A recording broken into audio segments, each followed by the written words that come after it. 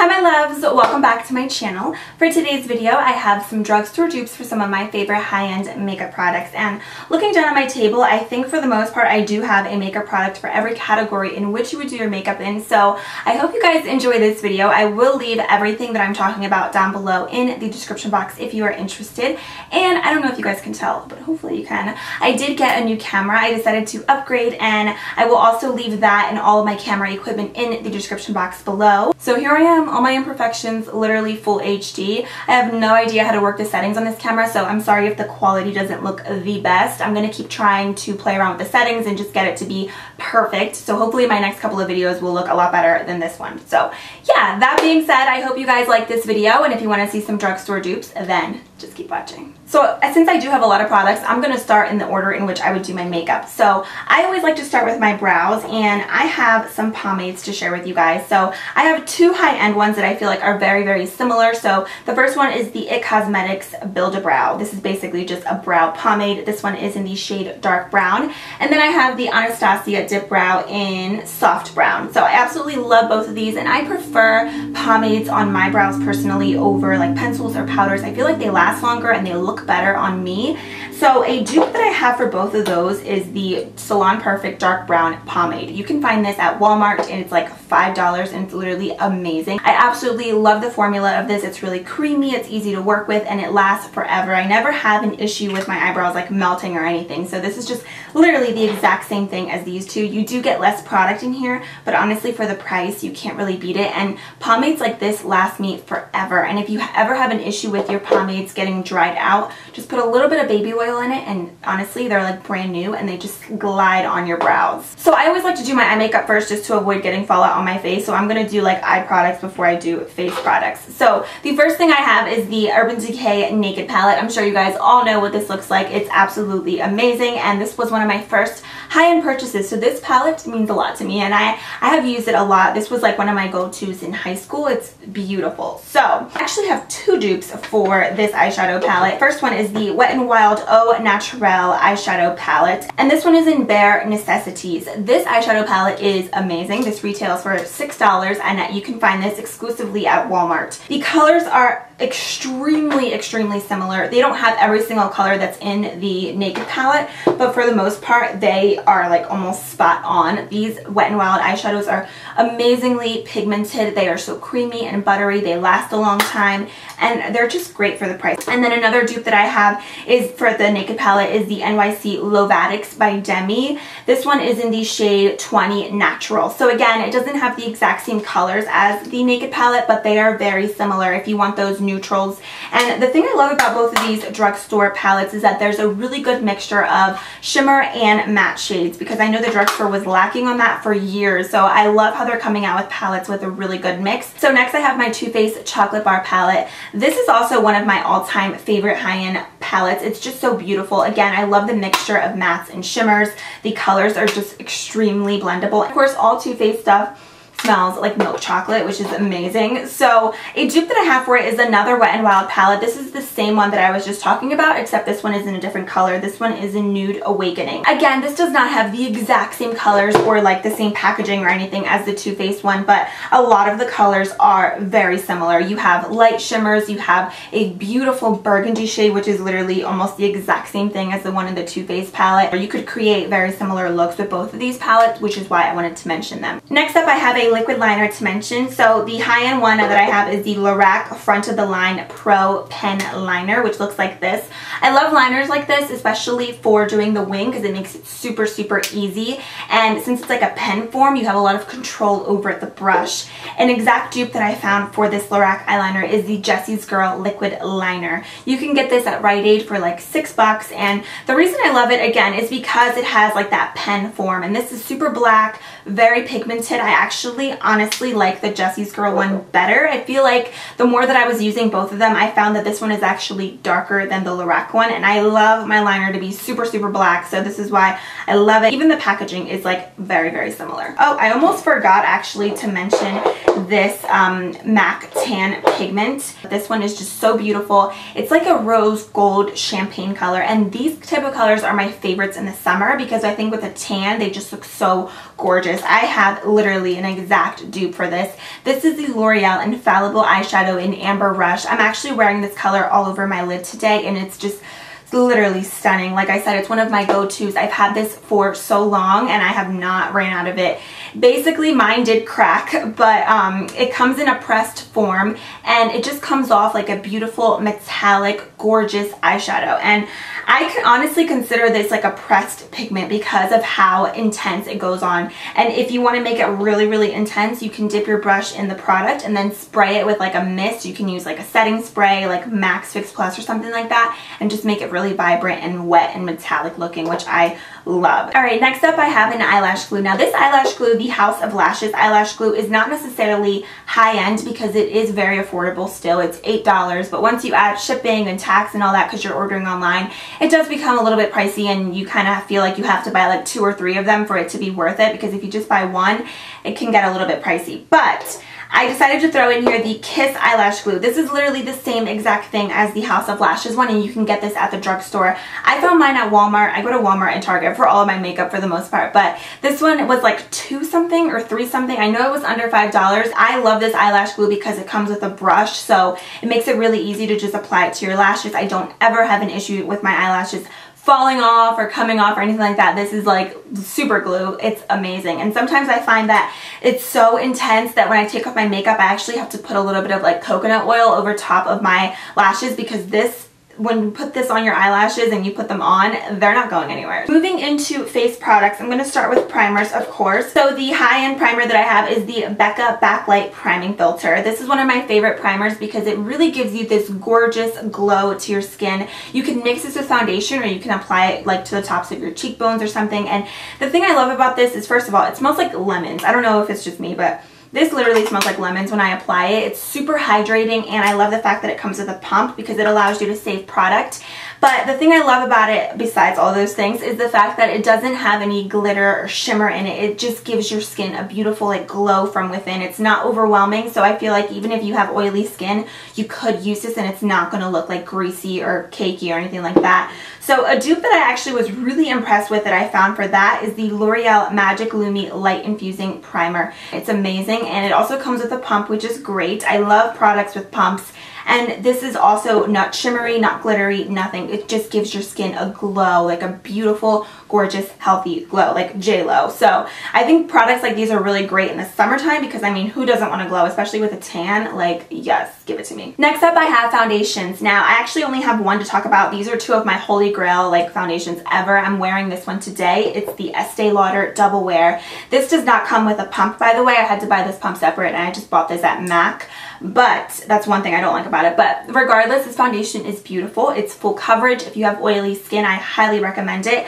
And I love how they have so many different shades and the shades that they do have, they're kind of very like yellowy, which I like because I have like yellowy olive skin tone. So I don't really like to wear things that are too pink or too white, you know what I'm saying? So that's why I really enjoy this foundation. However, I have so many foundations and the, one that I found that is like extremely similar when I have it on my skin is the Maybelline Matte and Poreless so this foundation is full coverage, but the thing is that whenever I apply both of these, I feel like my skin can breathe and it looks like my skin. It doesn't feel like I have an overwhelming amount of makeup on, which I love, especially in the summertime because I don't like my makeup or my face to look or feel cakey, especially when I'm outside in the heat. It just is very uncomfortable. With these two, I don't have that issue. Next, I have a concealer. I have the MAC Pro Longwear as my high-end version. This one is in the shade NW20. As much as I love this concealer, I just honestly hate the packaging of it, first of all. I just have to say the pump is just so messy. You waste so much product because a little bit of this goes a long way, so it just pumps out so much more than what you really need. So I always honestly prefer this one, and this is a dupe that I found, the NYX HD Concealer. I find this to be extremely similar. This is literally amazing because it's full coverage just like the MAC one, but it also comes with a doe foot applicator, which allows you to save product and you can control how much you're actually applying on your face, which is great. So my NYX one, I'm actually wearing this also underneath my eyes today, is in the shade Beige, and I love this for concealing, highlighting. It's so full coverage, but I feel like no matter how much you put on, it doesn't look heavy underneath your eyes or cakey. It's just absolutely amazing. So love both of these, but again, NYX HD, you can't go wrong because of the packaging. It's so much better than the MAC Pro Longwear. I wanted to mention this like little, I think these are called Ch Chubby Foundation Stick by Clinique, and I really like this, especially for cream contouring. I think it's great. Gives you like a nice airbrush look. A dupe that I found for this Clinique Chubby Foundation Stick is the Maybelline Fit Me Shine Free Foundation Stick. This one is in the shade Toffee Caramel, and then the Clinique one is in the shade 24 Garaton Golden. So I find that these formulas of both of these are so similar. When you apply them to your skin, they're creamy, they're blendable, they're easy to work with, they don't get cakey when you put powders over top of them, which I'm really big on. So I literally think the Maybelline one is the same exact thing as this. Um, I honestly feel like the Maybelline one is actually a little bit more creamy and easier to blend than the Clinique one. Love them both, but I feel like the Maybelline one is just like a win. I almost forgot to mention this primer. I am so sorry, but this is the Smashbox Photo Finish Foundation Primer. This is basically like a silicone type of base, which I personally really like. I find that silicone-based primers really give my skin a nice smooth finish. My foundation looks really nice when I put them over top. But a dupe that I have for that is the Monistat Chafing Relief Powder Gel. And I know what you're thinking, why are you even talking about that? But you can find this where they have like the feminine hygiene products, and it's literally the exact same thing. You can apply this to your face. I do have sensitive skin at times and I don't have any issues with this irritating on my face or anything like that. It's just a really great smoothing primer. If you have oily skin, you could use this to like minimize your pores and stuff like that. It's not really a mattifying primer, but again, it's more for pores and kind of just filling in any imperfections that you have. Next up, I have one of my all-time favorite powders. This is the MAC Mineralized Skin Finish in the shade Light Plus. MAC Mineralized Skin Finishes are amazing. I have used these for years and even in high school I used to get compliments whenever I would wear this on my skin because that's how beautiful and creamy they look on your face. It's not like a matte finish but it's not a dewy finish. It's kind of just like a natural your skin but better finish on your face and it, it's just so beautiful. I have found though a dupe for that powder is the e.l.f. pressed powder. This is $3. I'm pretty sure they have these in store. I'm not completely sure. All the times that I've gotten this though I have ordered them online um, but but it's totally worth it because e.l.f. is so affordable anyway and they always have like different promotion codes. This is the closest powder that I have found to remind me and be very similar to the MAC Mineralized Skin Finishes in the sense that they just go on like butter on your skin and they don't give you like that cakey, matte, powdery baby powder look on your face. They're just like very natural and they set your makeup beautifully. You can use both of these powders to set your foundation or just to set underneath your eyes and they look flawless. All right, next I have a blush. This is another MAC product. This is one of my favorite ones. It's in the shade Gentle. It's a mineralized blush, so it doesn't have any shimmer in it, but it has like a bit of a like sheen. Gives you like a natural sheen to your cheeks. This is a really pretty like mauvey tone shade, as you can see. It's like pinky purpley. I really love colors like this all year round, especially in the summertime when I do get tan, because I find that really light shades just don't show up on my skin because I can get really, really dark. So an exact dupe that I have for this one is the Maybelline no, Milani Baked Blush. This one is in the shade Fantastico Mauve. Milani is one of my favorite blends brands brands from the drugstore especially when it comes to blushes. Their blushes are beautiful. Their baked blushes are like high-end for such an affordable price. The Milani one is actually a little bit better in my opinion. I actually like the pigmentation and formula better. The MAC one is not as pigmented as the Milani one which is kind of crazy to say but it's true. You actually do have to build up the MAC one to get it to be really intense. Whereas the Milani one with just a little bit of like a brush over top of it you get so much pigment. It's insane. Alright next up I I have a highlighter. This is my current favorite high-end highlighter. I am wearing that today on my cheeks and this is the Lorac Illuminating Highlighter in the shade Daylight. First of all, I just want to shout out Lorac for the packaging of these. They are so luxurious, sleek, very easy to kind of just put in your makeup collection. I just love the packaging and I love how it's like a magnet. But anyways, this highlighter is literally the prettiest highlighter. It's like a really gorgeous metallic gold shade. Very vibrant and intense and I absolutely love it. I was looking through my collection and trying to really compare to which highlighter reminds me of this and the one that I found is the Hard Candy highlighter in the shade Tiki. This is technically called a baked bronzer but honestly this is a highlighter. You can find Hard Candy only at Walmart and this is the closest thing that I found to it as the Lorac one. It's pretty much honestly very spot on. It has those gold tones to it and I love this because it is very versatile. You can also use this like on your brow bone and your inner corner. You don't have to just put it on your face. Very beautiful, very buttery and I did crack mine but I'm still using it because it is amazing. Alright, almost done. I have some lip products to talk about. So this is one of my favorite high-end nudes. This is the Too Faced lipstick in Nude Beach. It's literally the perfect nude. Not too pink, not too nude, not too brown. It's amazing and I love this on its own because because it is very, very creamy and pigmented and you don't really need a gloss over top of it. An exact dupe that I have, which is the color I'm wearing on my lips today, is L'Oreal Fairest Nude. Pretty much the tones might look a little bit off, but when you actually go to apply them, you cannot even tell, honestly. The L'Oreal lipsticks are extremely pigmented and creamy on the lips as well. They don't dry them out, which I really enjoy because I don't always put a gloss over top of my lipstick, so I really like just to be able to wear this on its own without any cracking issues.